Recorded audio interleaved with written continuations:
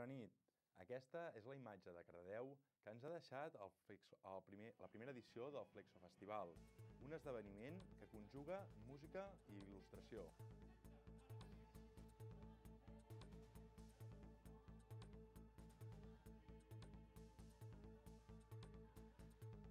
També el Parc Natural del Montseny ha estat notícia aquest cap de setmana.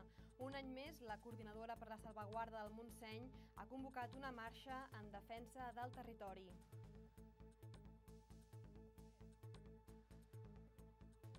A més, veurem també com s'aconsegueix que els nens i nenes trobin el gust per la lectura als centres educatius de Cardedeu.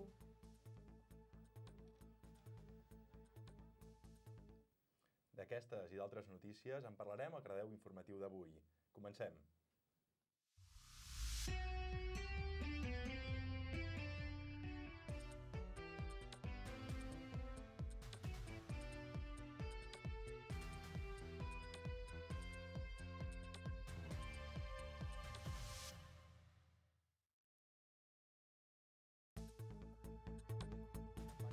Del Montseny hi ha un seguit de projectes que, segons la coordinadora per la salvaguarda del Montseny, són especulatius i perjudicials per al medi ambient. És per això que han convocat una marxa aquest diumenge entre Santa Maria i Sant Esteve de Palautordera, en què hi han participat més de 150 persones. Amb les muntanyes de fons, més d'un centenar de persones van participar a la segona marxa en defensa al territori. La ruta va ser convocada per la Coordinadora per la Salvaguarda del Montseny. Sota el lema ni asfaltatge ni especulació, lluiten contra un seguit de projectes de les administracions públiques, Generalitat, Diputació i alguns ajuntaments. Concretament, el de la carretera entre les illes i Sant Marçal o el projecte d'una macrodepuradora a la vall de Santa Fe, tots aquests projectes tenen un impacte ambiental eh, innegable que eh, se centra en zones altament protegides del camp per exemple, zones de reserva natural, que és la màxima figura de protecció que hi ha dintre del Pla Especial del Montseny. També denuncien el projecte de la construcció d'un nou edifici al cim del Turó de l'Home, impulsat pel Servei Meteorològic de Catalunya. Diuen que no té cap justificació ni científica, ni social, ni mediambiental. La marxa, que va començar a dos quarts de dotze, anava de Santa Maria a Sant Esteve de Palautordera. En arribar al seu final es va llegir un manifest. un document que ho signa i ho ratifica. Ara com ara... L'Ajuntament treballa perquè quan arribin els refugiats tinguin una bona acollida a Cardedeu. De moment s'ha fet una crida perquè els ciutadans que ho vulguin diguin com hi podrien col·laborar. Tot i això, des de la Regidoria d'Acció Social es queixen que els falta informació per poder organitzar i coordinar l'arribada dels refugiats. L'Ajuntament ha activat un formulari a internet per tal de tenir un registre de tots els ciutadans que vulguin oferir la seva ajuda quan arribin els refugiats. A part de les dades personals, cal especificar-hi el tipus d'ajut que s'ofereix. La primera acollida es farà des de Barcelona. En una segona etapa, els refugiats arribaran als municipis. Sobretot els primers mesos necessitaran doncs, molt acompanyament. No? Si parlem d'infants, doncs, evidentment estaran els seus pares doncs, poder acompanyar els primers dies aquests infants a l'escola per fer una miqueta de, de mediació o de, o, o de suport a aquestes famílies. Parlem de tramitació de targeta sanitària, visites al metge, etc. Doncs poder acompanyar aquestes famílies a, al CAP.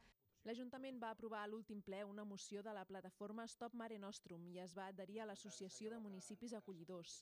Com a Ajuntament també s'està valorant crear una guia d'acollida amb informació general per tal de donar més autonomia als nouvinguts. De tota manera, Laia Muñoz es queixa de la manca d'informació per part de la Generalitat i el govern espanyol.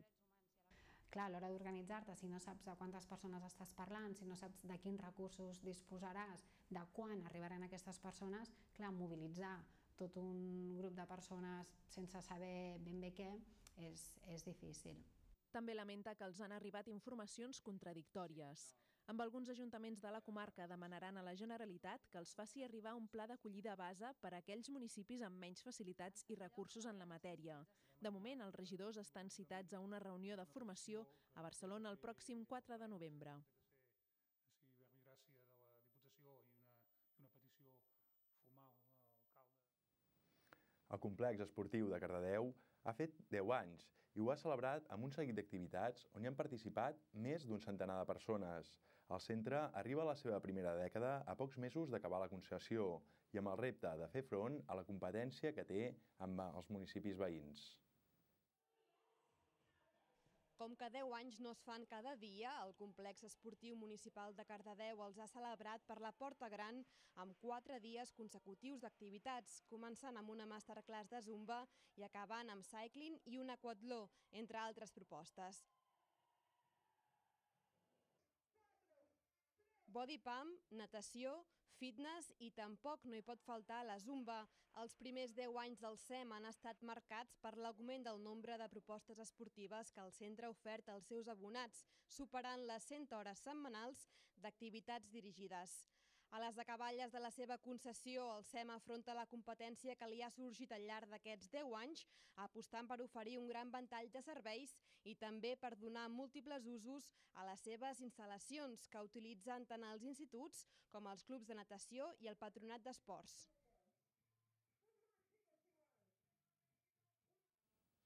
Els centres educatius cada cop insisteixen més en la lectura. El repte és que deixi de ser una obligació i passi a ser un plaer. Però fomentar l'hàbit lector entre els estudiants requereix de molta imaginació per part del professorat. Així és com s'inculca el gust per la lectura a primària, secundària i batxillerat als centres de Cardedeu.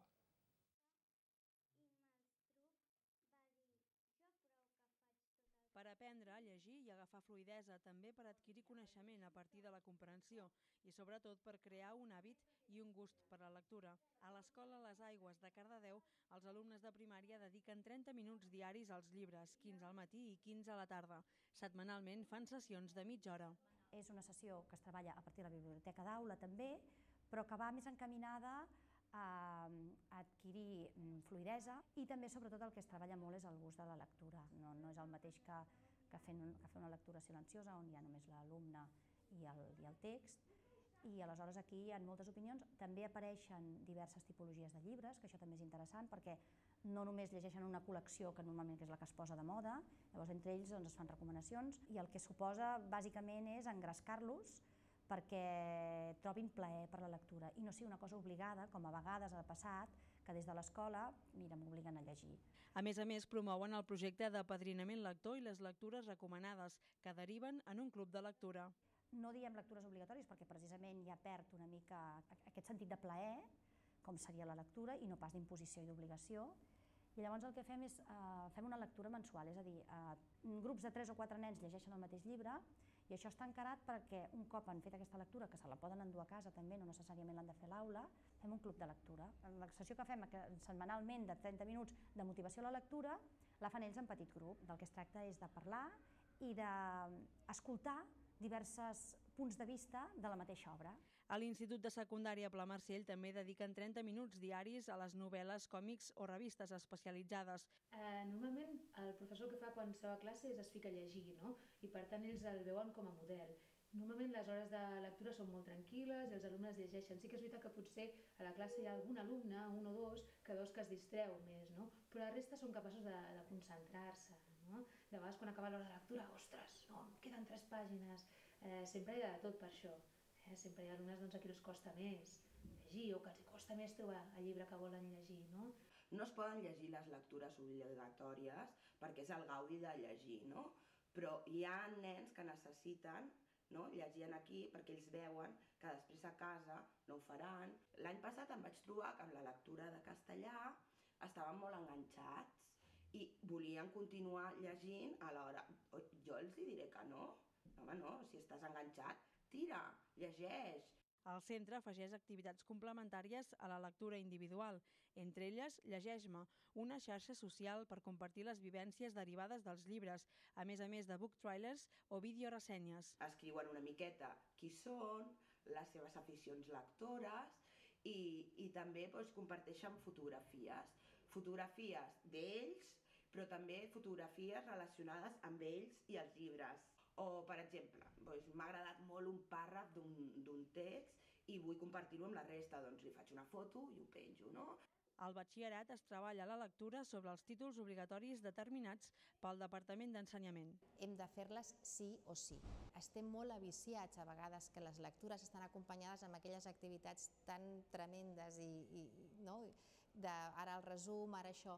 El cavall de batalla és buscar dinàmiques perquè aquestes lectures puguin ser el més atractives possibles i més enllà dels títols obligatoris, també es dedica temps des de l'assignatura de llengua per fomentar les recomanacions i la lectura lliure. Intentem que les, els títols de les obres que ells escullen no? siguin les que més els ha motivat i els ha agradat i no hi ha millor eh, promoció d'una lectura que la que et recomana un company. Quan proposen les seves, les seves lectures, eh, poden traspassar i, i poden acostumar-se que aquest moment tant de lectura compartida com de lectura individual a casa seva o allà on sigui, vagi fent espai. Eh, jo crec que sí, que, que molts d'ells es crea un hàbit. Eh, és veritat que, clar, amb tot segur que no, que no ho aconseguim, no? Diuen que un hàbit es crea a partir dels 21 dies que fas una cosa, per tant, jo crec que alguna cosa farem. Aconseguim motivar l'alumne i aconseguim que la lectura no sigui aquella imposició i aquell, aquella, aquella feina feixuga, que és obrir un llibre i, i, i començar a llegir. Al contrari, obrir un llibre per ells és entrar en una aventura, és entrar en una història, és entrar en un país nou, és entrar a, a entendre o a conèixer una curiositat que tenen i per tant és un repte.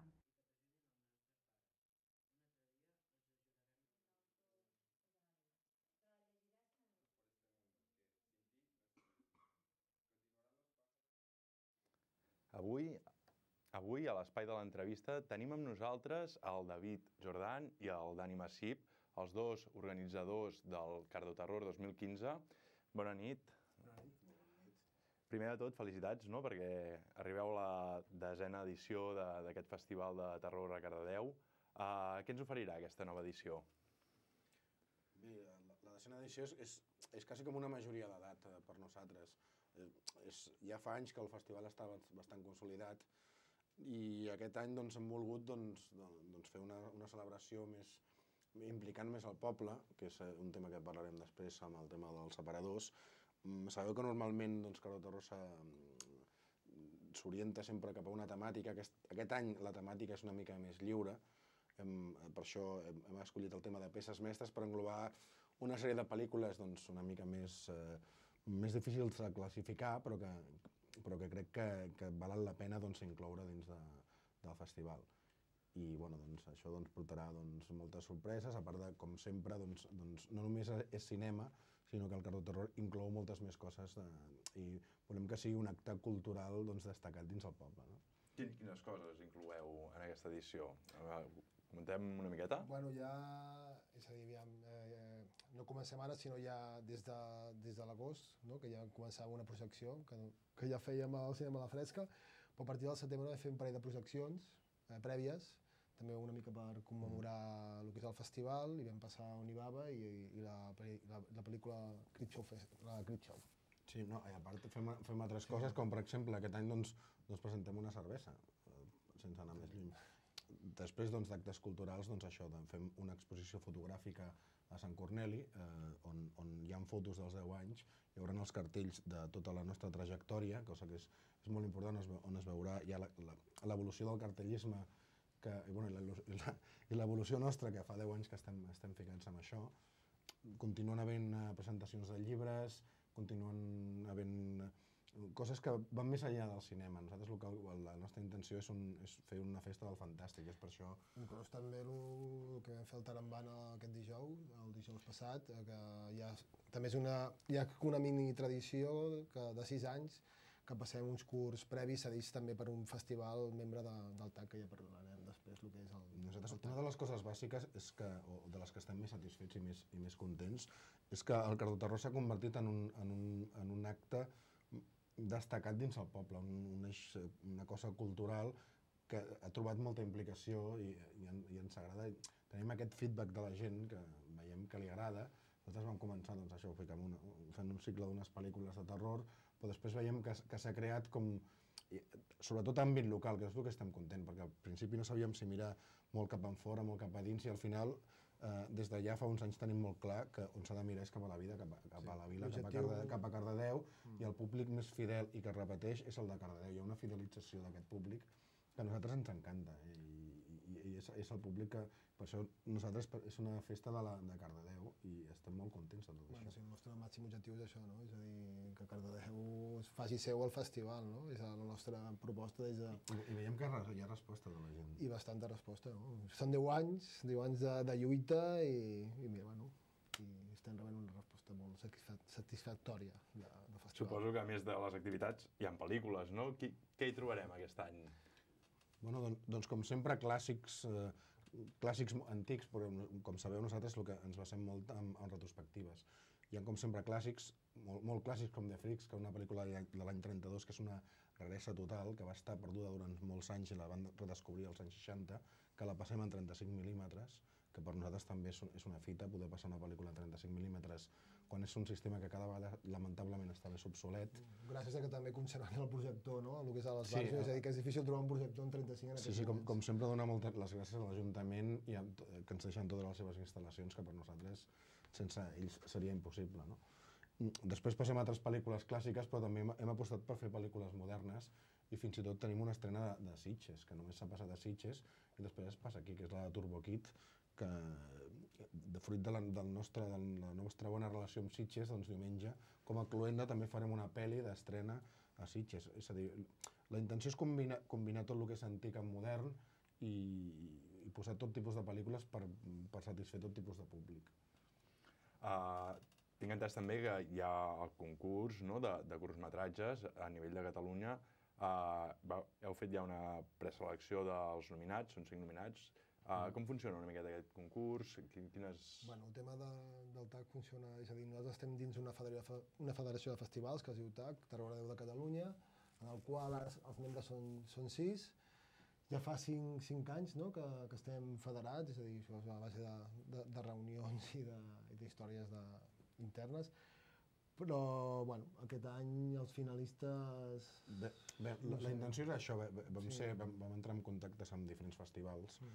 com el Crip Show de Badalona, el Festival de Molins de Rei, el Fangofest d'Amposta, el, cinema, el Festival de Cinema Terror de, de Sabadell, segur que em deixo algun, el, el, el de Cerdanyola, el Fantos Freak, i, i la idea era, era fer, fer alguna activitat conjunta, no?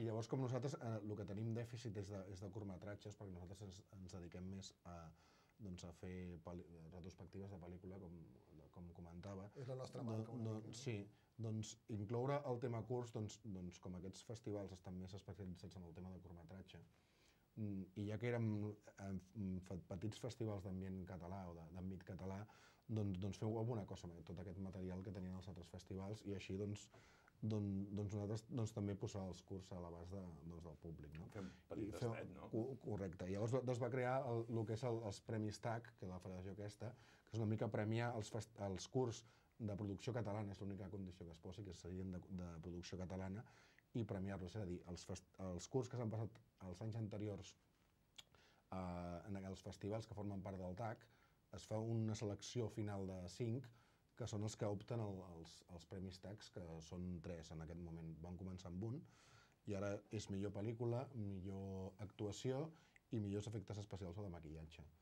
I crec que és un reconeixement també pel nostre, pel nostre cinema, encara que sigui de curt, però bueno, la, la gent que comença en curs després doncs, doncs són, el, són el futur la, del, del cinema català. Bueno, no? de fet, hi ha un guanyador, no sé si és del primer o segon any, l'Andy Musetti, que... Sí que està. A partir d'aquí no ho sé, però de fet va presentar un teaser trailer no, de- d'un comentari que es diu Mama i ho ha passat a pel·lícula, és a dir que... Sí, el, va, en Guillermo del Toro, va, no sé si heu vist la pel·lícula de Mama, però va guanyar aquí a Cardo Terror i després va anar a Hollywood i va fer la pel·lícula. Vull dir que no sé si va, segurament va ser gràcies a nosaltres, no? Segurament. No ho sé, però Doncs i, uh, també tinc entès que hi ha una col·laboració amb els comerços, no? Hi, hi han participat bastant activament, sobretot comerços del centre, no? Bueno, aquest any hem fet una aposta, és a dir, és a dir ja fa, ja fa jo què sé, 5 o 6 anys, que es va fer una, com una petit tast així amb els comerços, eh, amb el tema de, dels aparadors, però no va tenir molta, bueno, no va tenir molta difusió, i va haver-hi, van col·laborar una mica tres o quatre aparadors. I aquest any, a través de, bueno, d'una xerrada i tal del, del que és la fleca al Puig, el, no me'n recordo com es diu, el, em va comentar, hòstia, podíem fer alguna de paradors i tal, i bueno, i van començar allò a pensar una mica, i vaig, bueno, i vam començar doncs, a, això, a contactar amb diferents botigues i tal, i bueno, la cosa s'ha animat i, i, i ara tenim doncs, una mostra de paradors en la qual hi participen quasi 40 comerços i que ja es poden veure pel poble i crec que, bueno, que Jo crec que fa molt, molt, fa, fa, molt de goig, vesteix molt del poble, eh, la gent parla, ja comença a parlar-ne i bueno, està bé, no? Situen mica- també no, a, cap al car de terror no, d'aquest cap de Sí, setmana. jo, jo crec que aquí es barreja tot el que és el Cardo Terror, la festa de la castanyada i la festa de Halloween. Hi ha molta gent doncs, que no és molt partidària de la festa de Halloween, però jo crec que tot hi cap, una mica. Vull dir, es, po- es, poden, es poden barrejar tant la castanyada com la festivitat del terror i fer una mica una festa així gran important. I és això, jo, jo he passejat pel poble i he vist els separadors i realment m'he emocionat amb la, amb la resposta No que han tingut por, els, sí. els, els, els I separadors. d'aquí vull agrair realment el, els comerços no, que han participat, que s'han currat molt i que estem molt supercontents i esperem que, que això duri molt, no? que, que és molt maco. Que tingui una continuïtat. sí, a més fan, vesteixen el festival, que, Mhm. que és Sí, el que sí, sí. s'interessa i ells també pues, És, és això el que venia de, de, de, de que és una festa d'àmbit local i veus la implicació de la gent realment doncs, doncs, trobes molta satisfacció amb això, de, de que hi hagi molta gent que s'impliqui i que consideri doncs, doncs, que és una festa del poble i això és, aquesta és, al final, mm, sense saber-ho, eh, doncs s'ha convertit en, en un dels nostres objectius. Sí, no? Jo, jo crec que hem fet com un complet, no? Els 10 anys, no? La, la, la dècada, no? I, I que el poble se senti seu al festival, no? Una mica, i a Mhm. partir d'aquí ja veurem. Doncs si us sembla, us que, ens quedem amb aquesta idea no? d'un festival que el poble se'l fa seu i que qualla i que s'hi van sumant noves iniciatives, mica en mica. Moltes gràcies uh, per haver vingut avui. A vosaltres, que sempre per heu estat al 100% amb nosaltres i encantats d'estar aquí. Que heu fet sempre una cobertura estupenda i, i esperem que continuï. Moltes gràcies. Vinga. Uh, nosaltres continuem amb la plana cultural perquè la música necessita de la il·lustració per donar-se a conèixer i segurament molts il·lustradors s'inspiren en música de fons. Poques vegades, però, aquestes dues disciplines artístiques succeeixen a la vegada i, a més, en directe. Aquest és just l'objectiu del Flexo Festival, que ahir diumenge es va estrenar a Cardedeu. Per l'escenari hi van passar cinc grups musicals i a les primeres files hi van fer parada una quinzena d'il·lustradors. Inspirats en el que sentien, anaven creant les seves obres. Unes obres que el públic del festival va poder veure de prop a través d'una pantalla, mentre gaudia de la música. Cada grup transmet el seu, però en general molta energia, molta, molta energia. Les, els dos grups que han tocat fins ara, cadascun a la seva manera, era com, com una música que et dona una empenta a fer coses, i en aquest cas per mi a il·lustrar. Escoltes la música i va evocant idees, et va evocant sensacions i després intentes transmetre-les en el paper. És molt diferent estar sol a casa que estar aquí amb, amb tot aquest espai. És molt, és molt bonic. Iniciativa de Gemma Capdevila i Ona Mercet, dues il·lustradores apassionades per la música, el Flexo Festival va donar diumenge el tret de sortida a Cardedeu. Després de l'experiència creativa, de què va poder gaudir un nombrós públic, el festival deixarà petjada en la promoció de concerts, discos i gires dels grups, i és que aquests utilitzaran i difondran les obres pictòriques que van néixer al festival. ja siguin flyers, cartells, postals, anuncis a través de les xarxes, quan hi ha una il·lustració ben feta per un il·lustrador, doncs llueix molt més. Llavors pots anunciar qualsevol cosa amb cara i ulls i amb una mica d'art al darrere que sempre dona més, crida més l'atenció. A part de Pol Cruells, per l'escenari hi van passar Sense Sal, Nyandú, Guillem Roma i Senyor Smith.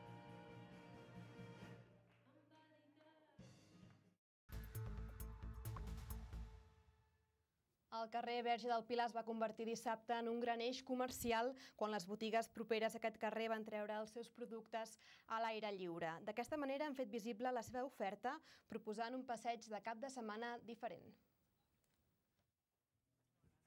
No és la primera vegada que aquest carrer s'omple de petits estants amb bones ofertes.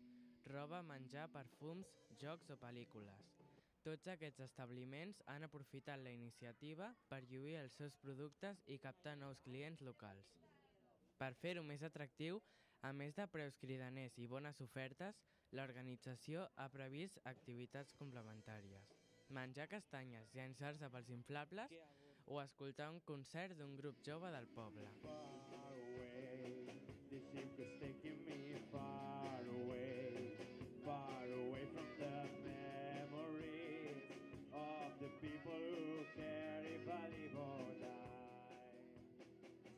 Es diuen subterrani perquè és en un magatzem soterrat on assagen les seves cançons. Bateria, guitarra, baix, teclats, violí i veu són els seus instruments per cantar temes en català i fer covers de cançons com Doctor Doctor. La juvenil formació ja té pensat seguir amb els seus assajos i poder oferir més concerts properament. Amb la música d'aquesta colla, la passejada entre petites botigues de carrer va ser més animada i es va arribar fins al moment de l'entrega de premis de la ruta del Pinxo. Dimecres, el Festival de Narració Oral Munt de Mots de Barcelona feia aturada en una de les seves seus de l'àrea metropolitana, al Pla de la Calma de Cardedeu. El narrador valencià Pablo Albo va oferir un petit recull de contes amb el seu estil d'humor absurd i abocador. He venido aquí para compartir con vosotros mis humedades. Pablo Albo es presenta com un difunt, un mort paradoxalment ben viu que explica l'experiència del seu enterrament i els seus records humits des del taüt. Amb aquest fil conductor, Albo enllaça els seus contes d'humor i absurditat. El seu joc narratiu provoca el riure constant captivant mirades i orelles en un home i una història. Pablo Albo és l'autor dels contes de les seves sessions. Aquest coneixement del text i una important preparació li permet fer que la narració creixi en directe. Agafa elements de l'entorn i els integra a les històries amb naturalitat per fer-les més vivencials y alhora divertidas. Yo lo que tengo es una ecografía del cuento. Nunca sabes cuándo nace cómo va a ser en realidad. Y el cuento elige su propio camino. Y si de repente pasa algo, suenan unas campanas o, hay un, hay un póster de, una óptica. Es que he visto la E cuando estaba diciendo E y, claro, el cuento tiene que ser vivo. No puede ser un, un recitado de una historia. Eso al público no le interesa. Bueno, a ver, si sabe recitar, sí, pero es otro lenguaje, es otro arte. El narrador tiene que estar vivo y contar el cuento eh, aquí y ahora y contárselo a la gente. No fingir que lo cuenta y sabérselo de memoria y... Pablo Albo ha sabut marcar un estil propi en la narració dins d'una disciplina que assegura tenir una salut de ferro. Una cosa es la salud que tenga el, el cuento y otra los eventos que se hagan o lo- el momento que se viva. Porque las personas vamos a necesitar que nos cuenten cuentos toda la vida. Vamos, es, es una... Cuanto más tecnología y, y más pantallas tengamos, que yo no me opongo, no me parece nada malo, eh, pero vamos a seguir necesitando que alguien nos cuente cuentos en persona y que nos lo cuente a nosotros. Amb el pas del festival Munt de Mots pel Pla de la Calma es dona el tret de sortida els divendres de contes i des d'aquest mateix sofà vermell va la recomanació. ¿Qué me estás diciendo? ¿Que hay gente que no ha asistido a una sesión de cuentos? Pobrecicos, no. Aquí en, en Cardedeu, gente que no ha asistido, eso no puede ser. Con la programación que hay, que hay aquí, que de gentes que han venido. Este es un sitio extraordinario para ver cuentos. Vivir por aquí cerca y no asistir, a ver, puedes no hacerlo, ¿no? Pero qué necesidad.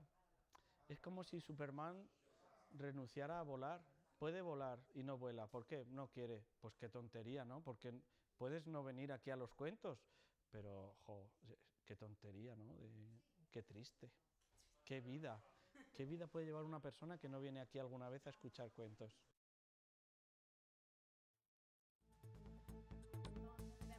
Ja al final d'aquest Cardedeu informatiu. Ens retrobem dijous amb més notícies en directe. Recordeu que ens podeu seguir a les xarxes socials, a Facebook, a Twitter i a YouTube. Ara us deixem amb un nou capítol de batalletes sobre el primer, el primer contenidor de paper al nostre municipi. Bona nit. Bona nit.